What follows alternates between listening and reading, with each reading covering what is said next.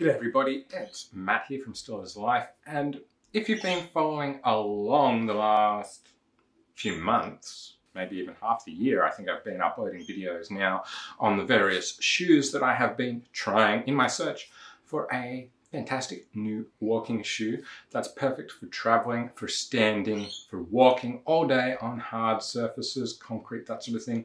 Because, I mean, that's what I do all day, but that's also what I look for in travel shoes anyway. So I stand here all day, five days a week, uh, plus go walking and that sort of thing. So I want a shoe that is really good for standing in on hard surfaces. And when I travel, I, that's what I look for too, is something that is really comfortable, that is supportive, and that feels good to be upright in for a long time. So when you're walking around the city, museums, art galleries, theme parks, all that sort of thing, you're standing on concrete, tiles, hard surfaces all day. It can be really tiring and really hard on your feet and also up through your legs. And I often feel it in my ankles a lot too. So ideally, I was looking for a shoe that looks kind of nice so you can get away with it as being the only shoe for traveling. And so in that sense, it can get away as being like a casual dress shoe as well as being a all day walking shoe. And so that is a hard ask. I tried a lot of shoes. I haven't tried every shoe on the market, like that's crazy. My previous shoe was a Go Walk 4 from Skechers. I loved it. They didn't make it anymore. And I didn't think the replacements were suitable as a casual dress shoe. So they were great for walking in, but they didn't really work for what I ultimately wanted as all-purpose travel shoe. So ultimately, I ended up settling on the Skechers Delson 3 Cicada shoe. Now, as you can see, these ones have had quite a bit of wear now from when I first did my video on them. And I really like these. They're a slip-on shoe. So fake laces, so quick on, quick off. They have this unusual insole, which is a mix of memory foam and the Goga Mat. Now I really like the Skechers Goga Mat. That is my favorite insole. I'm not a fan of the memory foam, but I actually found the way they've done it in these shoes works well. And I found it breathes well and is quite comfortable as an insole for standing all day. So I was really impressed with that. And I find that this kind of mesh toe box area breathes really well and that this firmer bit around the ankle gives you a lot of support. So as I mentioned, it's been quite a while now. I've actually had these shoes I think the video only went up about a month ago of me reviewing them, but I've actually had these shoes for about six months now. And so as I mentioned, I wear these all day, five days a week, at least eight hours, but often more like 10, and I am wearing them on hard surfaces, plus on weekends, whatever else I'm doing. And I've been traveling in these as well a couple of times now. So I found they've worked really well. I can't do much about these birds, sorry. They're really loud, aren't they? I hope you're enjoying that singing in the background. Coming back to the shoes. I like the coloring of these and I do find that they work really well with a lot of smart casual kind of outfits. So you can wear them both with shorts and with long pants and they look good and can pass for those occasions where you want a shoe that's a little bit nicer looking so that you don't have to carry around a pair of dress shoes with you when you're traveling as well. So I found that these work fantastically for that. Now, over that time, wearing them a lot, six months or so, at least 50 hours a week, that's a lot of wear. So that's about what, 13, 1300 hours, I think, that I've worn these for since getting them. And I can confirm they stood up really well. They're certainly not waterproof. That would be a really nice to have in a one size fits all shoe, but it just didn't work out that way. What I have noticed in that time is that the sole has stood up really quite well. I know there's a lot of doubt around these EVA foam outer soles that don't have a harder rubberized finish to take a lot of the hard pavement wear. And it is true, I've had this single piece EVA foam kind of sole before on Skechers and it does wear out quicker, but I found this one has stood up really well. Uh, as you can see on the bottom there, it's definitely starting to wear down, especially around the ball of my foot here but it's still got quite a bit of life in that sole. Now, what is starting to concern me a little bit more though, and that I am noticing after about that time frame, which again, it's a lot of wear, this has only happened in the last week, is in the heel area here, just above on the inside of, of this firmer, more supportive piece, we are starting to see a split in the material there. And that's actually happening in a couple of places here. And it's worn through. And I am starting to get, when I wear ankle socks and shorts with these shoes, I am starting to get some blisters as a result of that when I'm wearing them for longer periods of time. Still fine with longer socks and whatnot. Uh, it is happening on both shoes. This is the other one. I can see that's happening up in there as well. So I'm not complaining about that.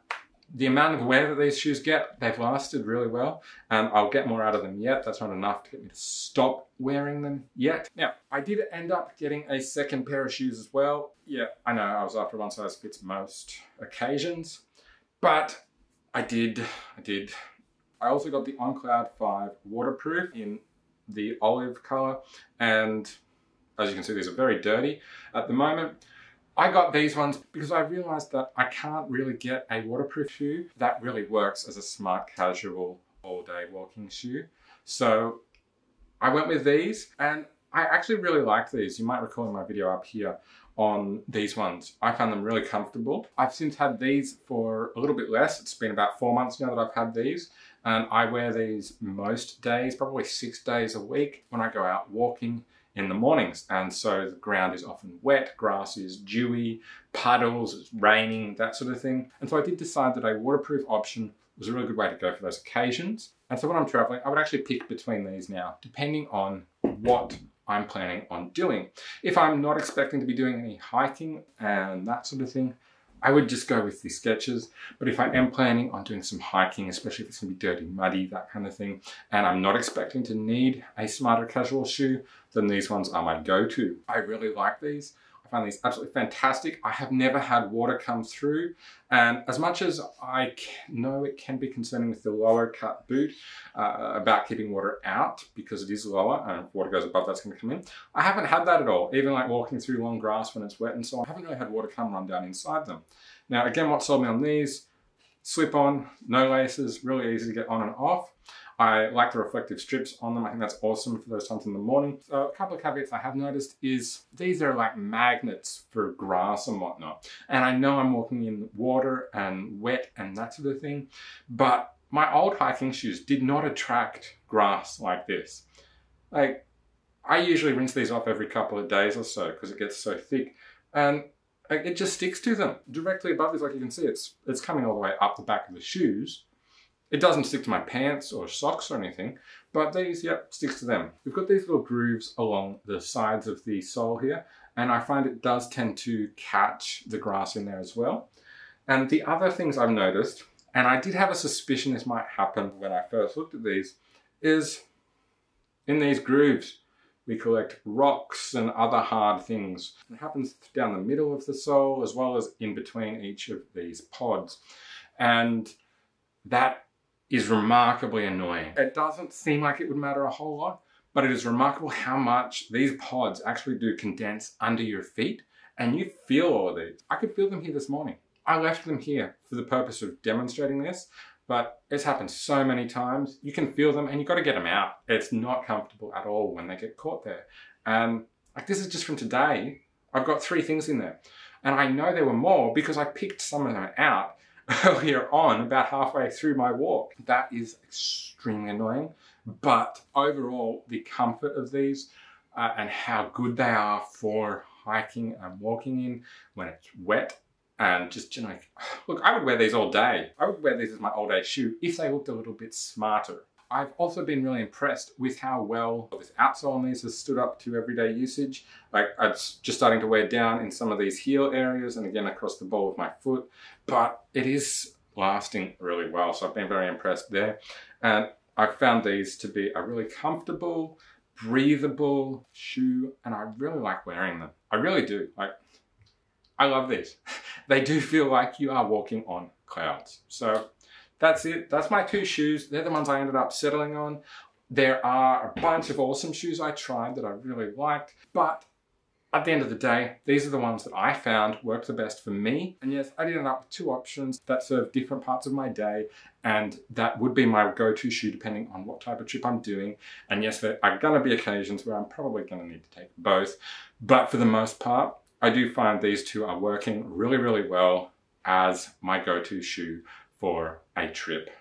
Mostly the Skechers Cicada Delson 3s. I've been really stoked to see more colors available in these and I'm keen to try them out as well. That's it. That's it for me for today. That's my shoes. That's what I went with.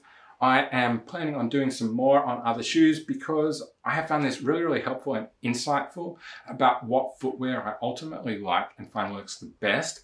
And I've had some good feedback from you guys too, saying it's been helpful for identifying what kind of shoes are going to work for you. Let me know down in the comments what kind of shoes you would like me to look at next. Now, if you're getting yourself a pair of either of these, check out the affiliate links down in the description. I'll also stick the links to my other videos on these ones down in the description as well, so you can check those out. Make sure you give this video the thumbs up and also subscribe to my channel for more videos like this from me. Bye for now.